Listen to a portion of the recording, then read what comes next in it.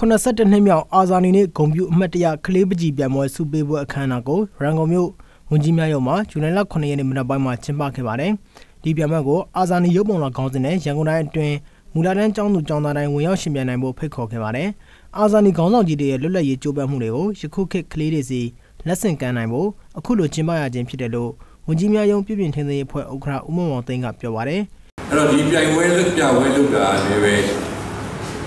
မြို့တော်ဝင်မိတ်ရှိတဲ့အတိုင်းပဲကလေးတွေပေါ့နော်တပြေးပြေးနဲ့ generation gap ဖြစ်ပြီးတော့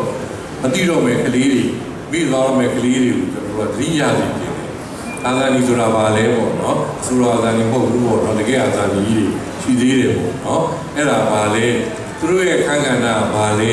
လွတ်လပ်ရေးဆိုတာပါလဲပေါ့နော်။ကျွန်တော်တို့ရဲ့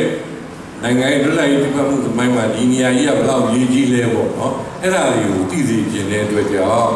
နော်ကလေးတွေရဲ့ အုံနောက်ထဲကိုဝင်ဖို့လွယ်ဆုံးဖြစ်တဲ့ပကြီးပြပွဲနဲ့ကျွန်တော်စပြီးတော့လုပ်ခြင်းဖြစ်ပါတယ်ရန်ကုန်မြို့တော်ဝင်ဦးမမောင်စိုးကလည်းတမိုင်းကြောင်ကိုကလေးတွေကနေစတင်သင်သင်ကြောင်းပြောပါတယ်။တကယ်ကိုဒီချိန်မှာကိုကျွန်တော်တို့ကတမိုင်းကိုလည်းသိရမယ်။ဒေသကိုလည်းသိရမယ်။ကျွန်တော်တို့နိုင်ငံအခုတည်းကနော်ဒီကောတောင်းဆိုတာခါကာဝရာစီနဲ့မားနေတဲ့အခြေအနေမျိုးနော်တမိုင်းဆိုတာလည်းဖြောက်ခံရတယ်တမိုင်း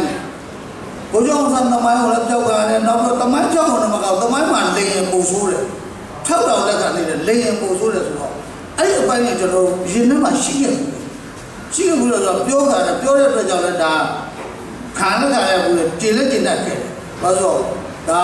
သူပြောရင်တော့ကို့ထုမှာပဲဆိုတာသိတယ်ကျွန်တော်ဒါတည်တတ်ခဲ့တော့တို့အခုတော့အကောင့်တွေပေါ်လာတဲ့အတွက်ကြောင့်အများကြီးလည်းကျေးဇူးတင်ပါတယ်တကယ်ရင်ထဲမှာလည်းချမ်းမြေ့လာပါတယ်ဘာလို့ကျွန်တော်တို့အကောင့်တွေပေါ်တဲ့နေရာမှာ များသောအားဖြင့်တော့ဒီပေါ့လေဒီပုံပြင်လေးတွေနဲ့စပြီးတော့အကောင့်ထဲပေါ်ရပါတယ်အပုံပြင်လေးတွေရဲ့အစ်စ်ဘာဖြစ်လာလဲဆိုလို့ရှိရင်ကျွန်တော်အယုတ်ကလေးတွေနဲ့ပကြီးဆွဲပြီးတော့စပြီးတော့ initiative ကိုစတာဝန်ယူတာအမျိုးသားတွေကိုတသားစီပေးရတာပါအဲ့ဒီနောက်စုရចောင်းသားចောင်းသူတွေကိုစုများပေးရကြပြီးအကဲဖြတ်တန်းတွေကိုလည်းဂုံပြူလက်ဆောင်ပေးရပါတယ်အာဇာနည်နဲ့ဂုံပြူအမှတ်တရကလေးပကြီးပြန်မှာပထမဆုရခဲ့တဲ့ IS1 ကျောင်းရဲ့ Grade 1ကျောင်းသား မောင်အောင်ဖုံးမြတ်ကဗိုလ်ချုပ်နဲ့ပတ်သက်ပြီးအခုလိုပြောပါတယ်။ဗိုလ်ချုပ်ကလက်လက်ယူခဲ့ဗမာလူပို့ချက်